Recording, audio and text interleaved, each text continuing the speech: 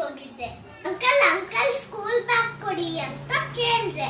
Stock ಇಲ್ಲ ma'am stock ಇಲ್ಲ ma'am stock ಇಲ್ಲ ಮ್ಯಾಮ್ ಅಂದ್ರೆ. ಬೇಜಾರಾಗಿ ಮನೆಗೆ ಬಂದೆ. ನಮ್ಮ ಡ್ಯಾಡಿಗೆ ವಿಷಯ ಗೊತ್ತಾಯ್ತು. ನಮ್ಮ ಪ್ರಾಬ್ಲಮ್ಮೇ ಸಾಲ್ವ್ ಆಗಿಬಿಡ್ತು. ನಮ್ಮ ಡ್ಯಾಡಿ ನನಗೆ ಒಂದು ನಮ್ಮ ತಮ್ಮಂಗೆ ಒಂದು ಬ್ಯಾಗ್ ಸ್ಕೂಲ್ ಬ್ಯಾಗ್ ಮಾಡಿಕೊಟ್ಟಿದ್ದಾರೆ.